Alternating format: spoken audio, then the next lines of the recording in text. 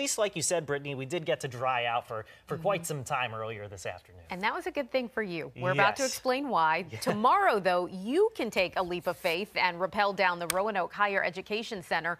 All of that money raised from the event goes to help Big Brothers Big Sisters. You had a chance. You had quite the adventure today. And the thing Uh-huh. with this, I didn't know, you have a fear of heights. I do, Oh my yes. So. I've got a fear of heights, and I wanted to kind of tackle that today. We had media day at the uh, Roanoke Higher Education Center. It really actually wound up being an amazing experience. Now, I won't lie, I've been nervous all day, okay? But once you take the final push over the edge, there's nowhere to go but down. The work is done, and this is kind of the fun part now. At first, this did not seem like my idea of fun.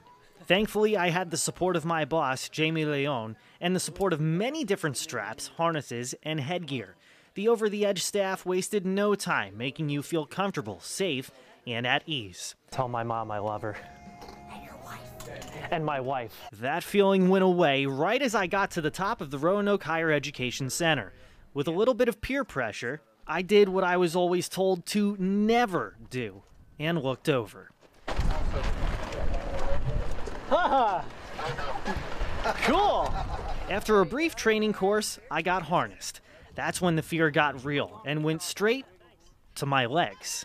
But I tried to focus on the bright side, as did Kay Dunkley, who is the executive director of the Roanoke Higher Education Center. When you're on the roof of this building, you get to see this panoramic view of the city of Roanoke. You get to see the Blue Ridge Mountains. But I could only daydream so long. It was time to go over.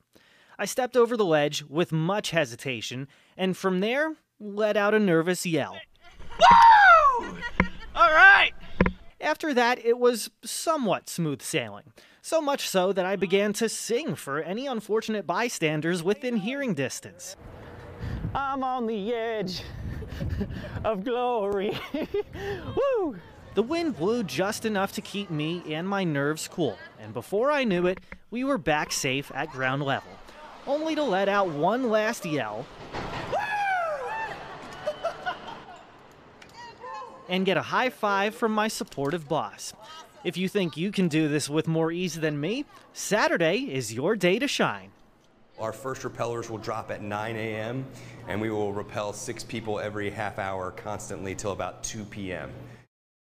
So yeah, not a bad day at work. I would definitely recommend this to anyone that wants to give it a try. It's safe, it's fun, and of course, it's for a great cause. All the money, as Brittany was just saying, goes to Big Brothers Big Sisters. It's an organization that supplies mentors to kids who are maybe facing adversity or just need a role model in their life. And both Brittany and I are thrilled to be part of that organization. And um, I heard that you're going to give it a try tomorrow. Yeah, All so right. so that's the thing. Any words of advice? So I'm doing it, and then Uh-huh. morning anchor Rachel Lucas, she's also Yeah. doing it. We're going to do it together. So My word of advice is just trust the staff. They are Okay. very, very good at calming you down. If you want to go tomorrow and give it a try, I mean, again, I was really, really nervous leading up to it. And then basically, once you went over the edge, literally, yeah. it was fine. I mean, it was actually kind of peaceful up there. So give it a try. I think you'll like it. Watching you take that look over the edge. See now I'm starting to have Uh-huh. your stomach starts to turn a ooh, little a couple bit. of butterflies. All right, thanks so much.